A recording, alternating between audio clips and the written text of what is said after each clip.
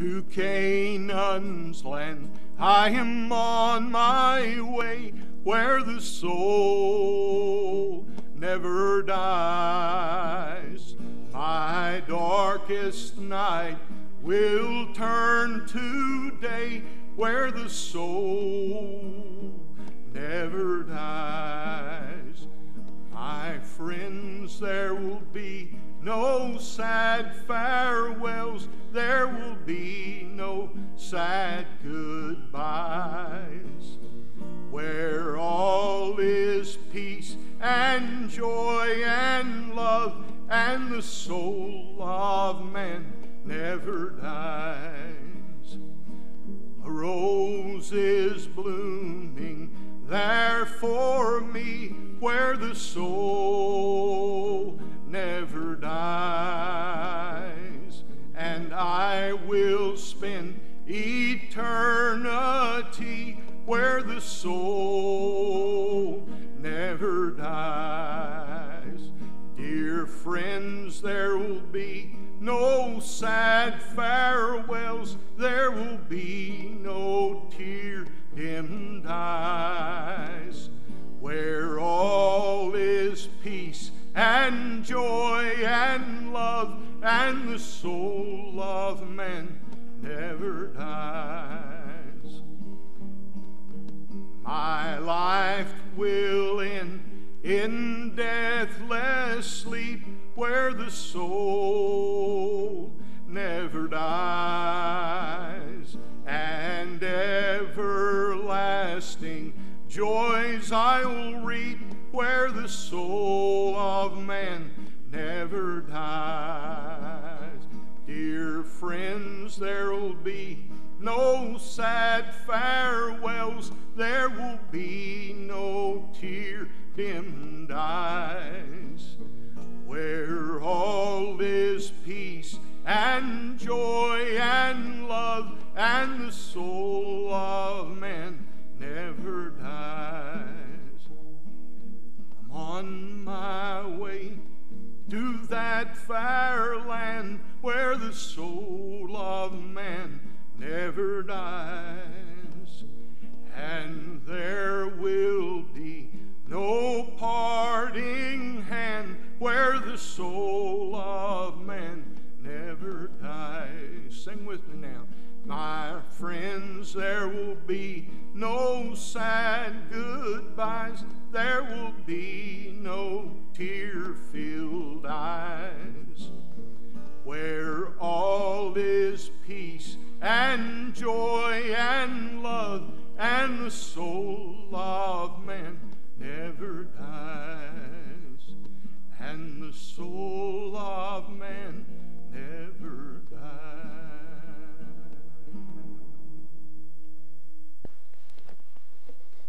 like you to take your Bible this morning and open with me to the Gospel of Matthew, chapter 13. Thank you, Brother Philip.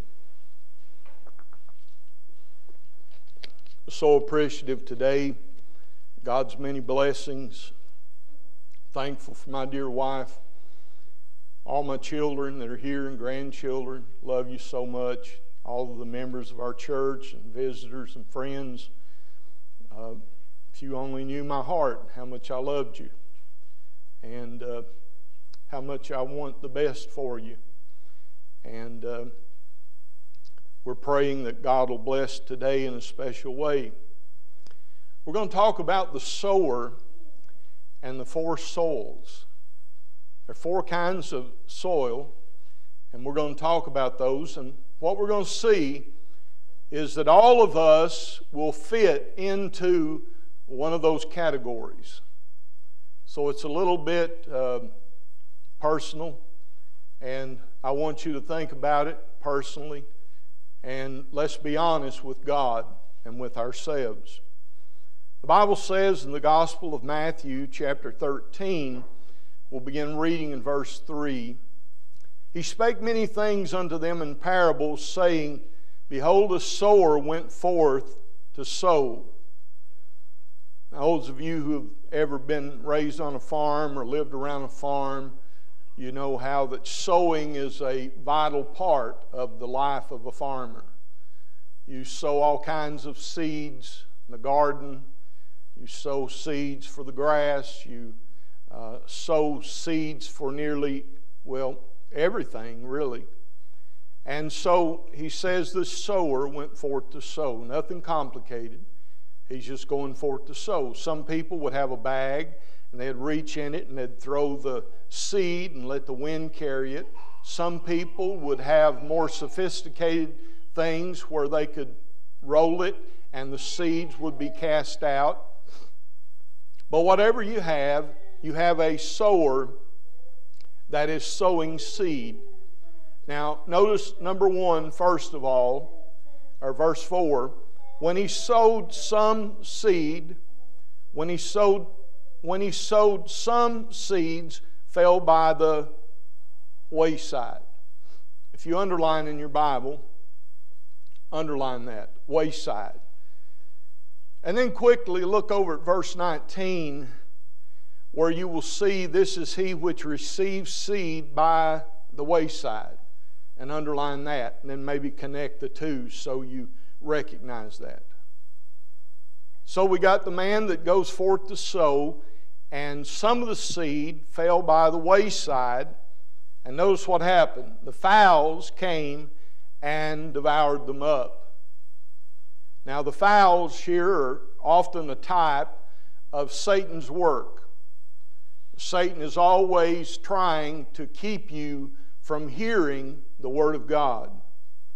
And he will use people, things, as we're going to notice, all kinds of different things he will use to keep us from hearing the Word of God.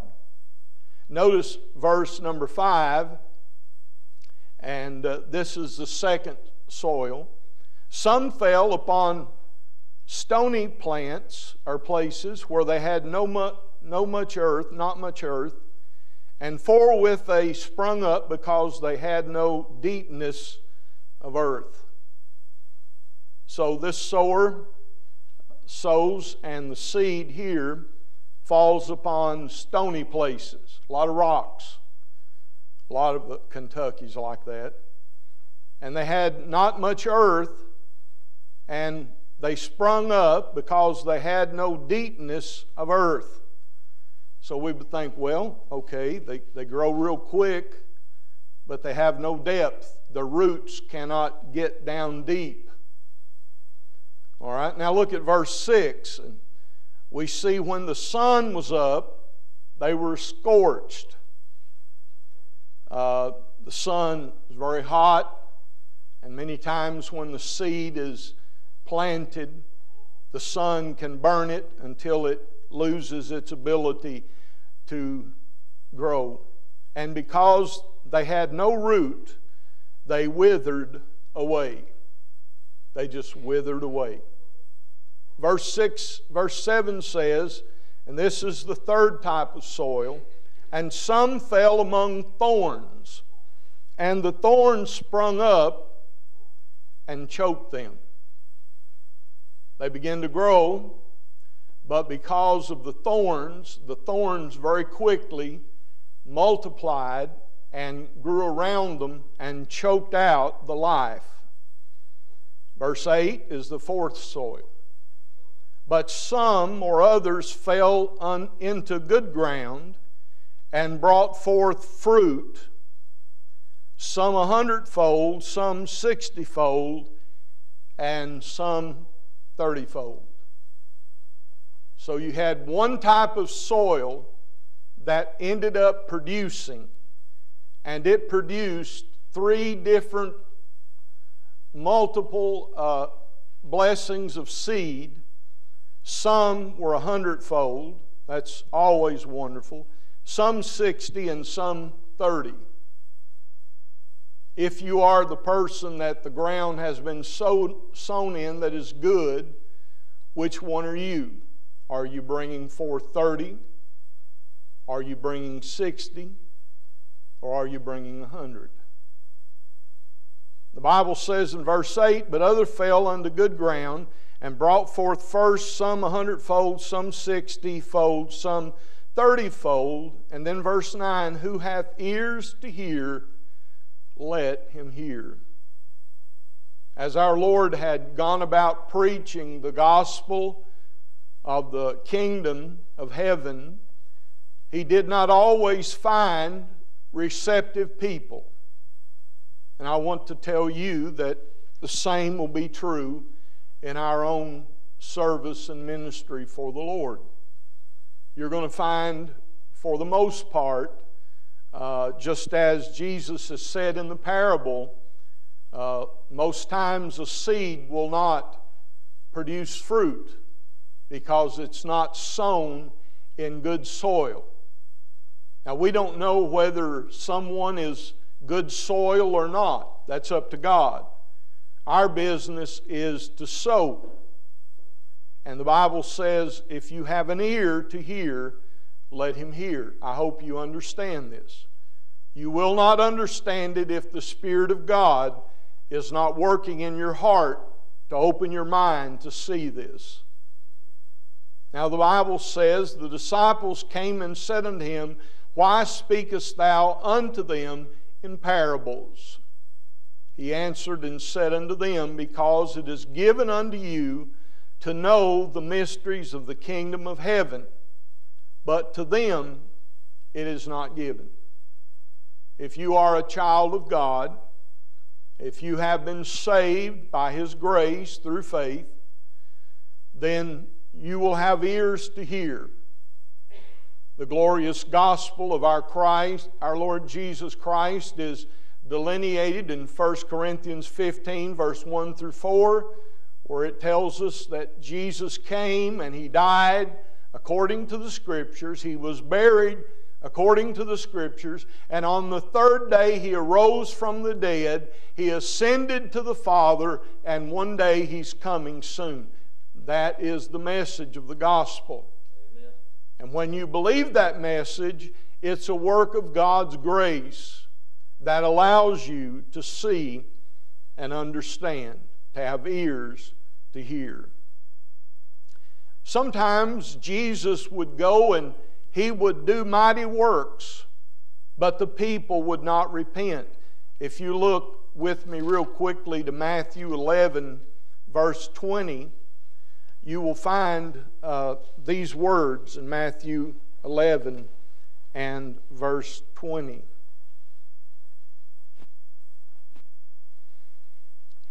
Then began he to upbraid the cities wherein most of his mighty works were done, because they repented not. He did mighty works, did mighty miracles, but they did not believe because they did not have ears to hear. Some sought to trick him so that they might have a reason to accuse him. Look quickly with me at Matthew 12, uh, verse 9. Matthew 12 and verse 9. Matthew 12, verse 9 says, And when he was departed thence, he went into their synagogues. And behold, there was a man which had his hand withered. And they asked him, saying, Is it lawful to heal on the Sabbath day that they might accuse him? He said unto them, What man shall there be among you that shall have one sheep, and if it fall into a pit on the Sabbath day, will he not lay hold on it and lift it out? They were trying to find some sort of uh, trick or accusation where they could lure Jesus into making a statement that would be contrary to the law. But they couldn't. He was the very reason that, uh, this reason that Jesus began teaching publicly in these parables, as we saw in chapter 13, verses 10 and through 13. The Bible uh, makes it clear. And the disciples came and said, Why speakest thou unto them in parables? Because the lost would not hear it. And those who were trying to trick him, they wouldn't hear it. But those who had a earnest heart of belief, they would hear and listen, and the truth would set them free. You see, the problem that our Lord faced was that many people, though they had ears to hear, their ears had become hard of hearing. He mentions this, this in Matthew 13, verses 14 and 15, when he says, And in them is fulfilled the prophecy of Isaiah, which saith, By hearing we shall hear, and shall not understand, and seeing we shall see, and shall not perceive. For this people's heart is waxed gross, and their ears are dull of hearing, and their eyes they have closed, lest at any time they shall see with their eyes, hear with their ears, and should understand with their heart, and should be converted, and I should heal them. Jesus told a parable that has come to be known as the parable of the sower uh, because he had a message for those who had ears to hear. Jesus illustrated different reactions that people would have to the preaching of the gospel. And the parable itself is, as we've seen, there are several places you can look at it. Mark 4, 3 through 9, and Luke 8 also contain the message of this parable in this parable, we actually have Jesus' own interpretation of what he was saying. The significance of this is enhanced by the words of Jesus recorded in the Gospel of Mark. I'd like to read this to you. Mark chapter uh, 4 and verse 13. Mark 4, verse 13. It says there, and he said unto them, Know ye not this parable, and how they will how then how will you know all parables? He says he's speaking unto them, and if they did not understand this parable, then how would they understand other parables? So we see that the sower goes forth. This is an explanation of how we live our lives and we go out into the world and we share the gospel. We talk to people about God and about Christ and how to be saved. And many times we see that people reject our message. They mock our message. They don't want anything to do with it.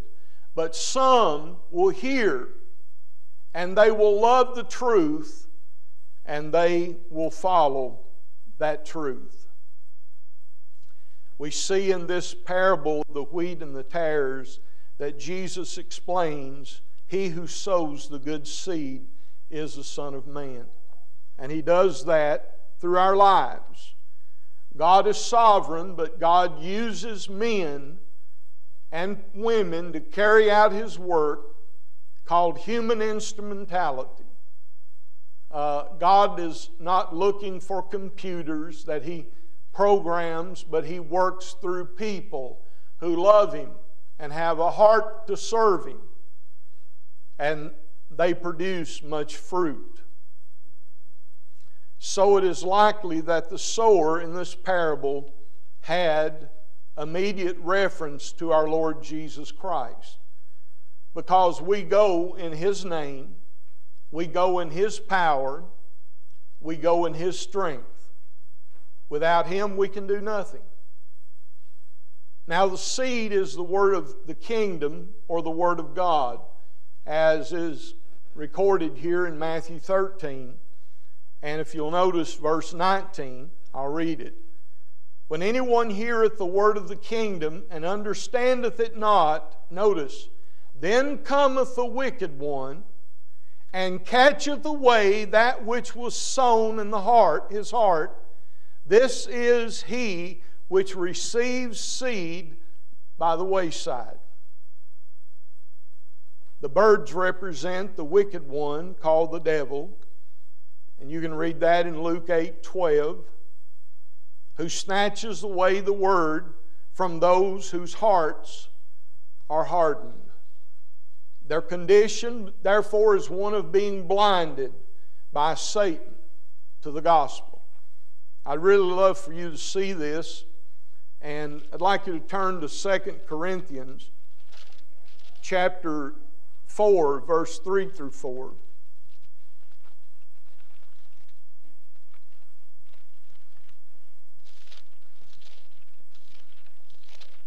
It take me just a minute. 2 Corinthians chapter 4, verses 3 and 4. Notice it says, But if our gospel be hid, it is hid to them that are lost, in whom the God of this world, that's Satan, hath blinded the minds of them which believe not, lest the light of the glorious gospel of Christ, who is the image of God, should shine unto them. There's nothing that the devil loves more than to keep human beings in darkness. To blind your eyes so that you cannot see the message of life. Paul goes on and says, For we preach not ourselves. You see, it's not my opinion that counts. It's not your opinion that counts, but it's God's opinion that counts. I don't preach what I want to preach in my flesh. I'm led by the Spirit of God to go to His Word and seek His face and pray and then deliver the message from the Word of God. Not my words, God's words. But Christ Jesus, the Lord, and ourselves your servants for Jesus' sake. For God, who commanded the light to shine out of darkness, has shined in our hearts to give the light of the knowledge of the glory of God in the face of Jesus Christ. I've shared this many times. And for a long time, I would, I would go to church as a young boy. I would go to a Baptist church. I'd go to a Pentecostal, Methodist, you know, Presbyterians. I went to a lot of different churches, or so called. And the day I got saved at the age of 18, I was in a Baptist church. And the preacher that morning preached the gospel, and he told me that I was a sinner reading from the Word of God, that I wasn't okay, that I was bound for hell if I did not repent and turn to Christ. And that day, God led me to godly repentance, and I repented. Uh, I was listening to an interview they had with uh, Donald Trump, our former president, and he said, Well, I try to live in such a way that I don't have to confess anything to God. The problem is that there are sins that we know about, there are sins we don't know about. They're called omission and commission. And there are many sins that we commit that we think about in our minds. The Bible says if a man looks upon a woman to lust after her, he's committed adultery already in his heart. So we can try to live as best we can, but we will still have sin. First John says, if you say that you have no sin, you are a liar, and the truth is not in you. No matter how good we try to live, we fall short. And that's why Christ died, that our sins might be put away and forgiven and never held against us. So when you repent and ask God to forgive you, and in godly sorrow you believe, you turn from sin and ask God to have mercy upon you, He does. And He changes your heart. He changes the way you think. He gives you a new heart and a new life. I remember when my dad got saved, how my dad used to be so rough, and uh, times he would lose his temper and, you know, throw things and slap me and do stuff uh, that were real bad. And, but I knew Dad loved me, but he just didn't know how to act. And when he got saved for the first time in my life, at the age of almost 19, my dad said, Tony, I love you, son. And it was just like a, a, a dam breaking in my heart because my dad had never told me he loved me. And when the Lord saved him, he became a new man. When the Lord changes your life, the cussing stops, the vulgar language stops, the evil thoughts and all those things that are a part of our lives. God convicts us of those sins, and we want our lives to be pure and holy before Him in love. So he says that some hear the word, and notice, if you would, back to our text in Matthew 13 and verse 21. He says, Yet hath he not root in himself, but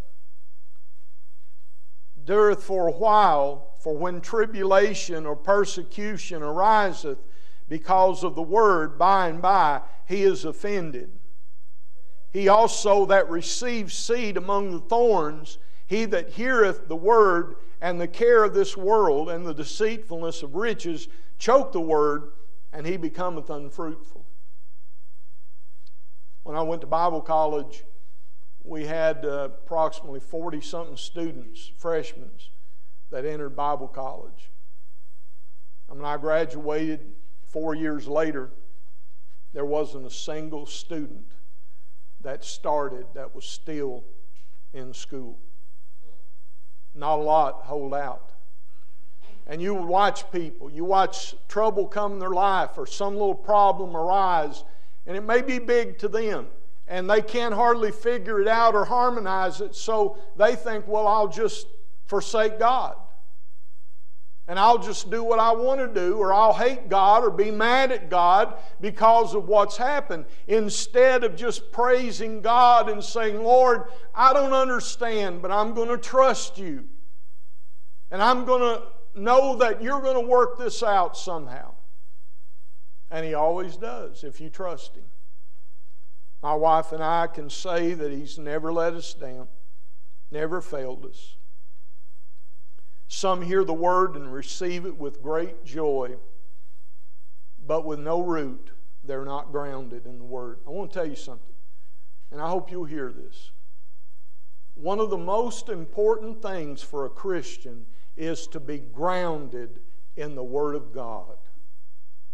If you're just a fly by night Christian and you don't study and apply yourself to the doctrines of the Word of God, You'll have some Jehovah's Witness or some Mormon come in and they'll throw you all the way around the world. I mean, they'll mix you up completely.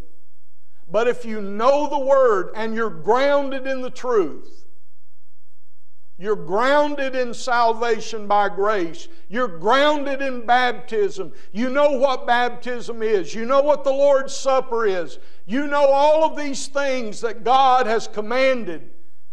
That's a very important thing Amen. to be grounded in the truth. I noticed someone posting a, a, a, Bible verse, and it wasn't a Bible verse, it was some, some uh, uh, uh, transliteration. And they were posting it like it was the Word of God. And they don't know enough to know that that's not even the Word of God. And people are using these modern translations, and they're all from a corrupt text. There's only one text that is pure, and that's the Textus Receptus. That's the translation from the King James and the New King James. These other translations come from a corrupted text. Westcott Hort is the text. They take away verses from the Bible, they change the meaning of Scripture. And people who are grounded in the truth know better. But those who are not, they just fall right in line. Some hear the word and they rejoice, but then when problems come, they're not grounded. You see that there are different ways that people receive the word, and we need a strong foundation Anytime someone asks you a question, make sure that they answer you with the Word of God. Whenever you have a confusion about something, you go to the Word of God or you go to somebody who knows the Word of God who can show you from the book what God says. Not what my opinion is or someone what someone said, but what has God said. That's all that matters. We see some fell among thorns, the third soil. The soil represents the one who hears the word in Matthew 13, but the word uh, chokes because they do not have the ability to hear. Now, I want you to notice quickly there are three things that get them. In Matthew 13, 22, it's the cares of the world. And I want to tell you something the cares of this world will almost drive you out of your mind. If you have the burdens of this life laying on you and you're not giving them to the Lord, you're going to wear out real quick. You're, you can't handle that. You're not made for it. You see, God is made for it. That's why He says, Cast all your care upon me, for I careth for you. And we give it to Him and say, Lord, it's yours. I can't handle it. It's too big. It's out of my hands. And you trust Him in His time. So then you have the deceitfulness of riches in Matthew 13 22. Oh, how deceitful riches are. How many people you know that uh, came into some money? You know, however they got it, they came into a bunch of money and you watch them a year or so later and see how their life has completely changed. I've read several testimonies of people who won the lottery, and they said after they had won the lottery, it was the worst thing that had ever happened in their life. You'll say, well, how in the world would that be? I want to tell you something. If you don't know how to handle money, and all of a sudden money comes pouring in and you just spend it hand over fist, it's going to run out real quick. And when it runs out, you're going to be in debt head over heels. Live within your means. If you can't pay for it, try to stay out of debt with everything within you. Because I can tell you about hundreds of marriages that had a good start, but because they could not manage money, they ended up in divorce. Be, be, be honest with each other. Tell each other what you spend. Tell each other what you have. Uh, work together. Don't try to hide stuff because, in the end, it's not going to work. So we have the cares of the world, the deceitfulness of riches, and the pleasures of life from Luke 8 14. Life can be very, very much enjoyable. I love to go fishing, did a lot of it in my early years, camping. Uh, I love to play sports basketball, baseball, football. Um, lots of things you can enjoy in life. There's so many things. Flying a plane, you know, driving a fast car. Lots of things that are very enjoyable. But what we have to realize are these things are only temporary. I remember when I was seven, I wanted a pony. And I wanted a pony so bad that that was all I could think of. And I slept with my dad uh, for a while because we only had two bedrooms, and the girls were in one bedroom, the boys in the other. And I'd wake up in the night, and I would get a hold of my dad's ears, and I'd act like I was riding a pony. Now, I was fully conscious. I knew what I was doing, but he thought I was dreaming. And I'd say, Giddy up, horse, giddy up, horse. And I'd be right over his ears. And finally he said, Son, I'm not going to be able to get a bit of sleep until I get you a pony. And I said, All right. I got a pony. I remember wanting a mini bike, got that. Got a motorcycle, wanted a car, got that. Had to work for it, but uh, these things were enjoyable. And a lot of times people just fall head over heels into the pleasure of this world. Nothing wrong with having a boat, nothing wrong with going out on the lake. But when all you do is just go out on the lake and you don't go to church and you, you put the lake and your boat first, you're going to have trouble. It's going to come to you. I know because I've, I've had a little taste of it myself. We need to be aware of the pleasures of life, according to Luke 8 14. These three can cause us to be unfruitful, as we have seen. The cares of this world can cause us to be unprepared. The evil in cares and anxiety can drive us out of our right mind. The deceitfulness of riches is a great danger. Remember, the love of money is the root of all evil. Amen. Not money, but the love of money. And we need money to live, but when we get to the place where money becomes everything, we're surely going to miss the boat. Those things involving the flesh divert our minds from the things of God. That's what Galatians 5 is all about. It talks about the, the fruits of the flesh and the fruits of the Spirit. The fruits of the flesh will take over your life if you're not careful, or you can follow the of the Spirit and be blessed. Now, as I close, I want us to keep in mind that there are many examples of people that were saved by God's grace and loved the Word. We remember about the Bereans and how they received the Word of God and they studied the Word to see whether these things were so. In Acts 17 11, if you want to read it, it's a, it's a great example of the Bereans, how they loved the Word. And they bore fruit. Jesus made the, the connection in this parable and connects the two when he writes of how the gospel produces fruit, even among the Colossians and the Galatians and all of those he had written to. When you understand that God and His Word are more important than all of the things of this world, then you're on the right track. What kind of fruit should we be producing?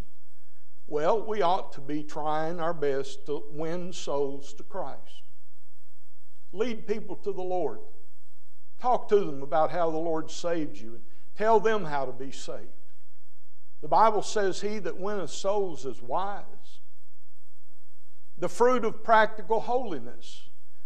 A man who walks in righteousness and lives before his children the proper example, those children will admire you and look up to you, and their lives will be changed because of, of the example of their parents. We have to, should have the fruit of sharing the fruit of the Spirit, the fruit of good works, the fruit of praise and thanksgiving. Hebrews 13 15. As we observe these things, our lives become fruitful for the Lord Jesus Christ. Now, in closing, here's the question What kind of soil are we? Are we the soil that fall that has fallen in the rocks? or the thorns or on the road, the wayside? Are we the soil that's been choked by the world, the worries of life? Or are we the soil where God has sown his seed and we have produced fruit? Some 30 fold, some 60 fold, some 100 fold. I was reading the life of Adoniram Judson, who was a great missionary. And he went on the mission field and he preached seven years. Seven years. And did not see one single convert. Not one person got saved. That's hard. He was on the mission field and he would write back to the churches and he would say, I've been preaching the gospel, I've been witnessing, nobody's been saved. And he was faithful. And then a day came when revival broke out. And after seven long years of toil, the Lord began to save. And the church began to grow. And the Lord blessed him in such ways that he could only imagine. Adoniram Judson, you want to read the life of a man and his wife who served God and went through some horrible trials. Check it out. Read about Adoniram Judson. May God help us to bear fruit. May God help us not to be choked out by the cares of life or the worries or the riches, but to be true to Him. Thank you, Father, for your word, for your blessings. Pray now you'll apply it to our lives and hearts. If there be one here today who's not saved, and the Spirit of God has spoken to their heart, I pray that you would work in their lives and that they might come forward and openly confess Christ as their Lord and Savior. Or maybe it'll be tonight or tomorrow or some other day when you move. But I pray you would not allow anyone here to go to hell, but that everybody under the sound of my voice will one day be with the Lord in his eternal kingdom. In the name of Jesus, I pray. Amen. Let's all stand together, please. Brother Philip.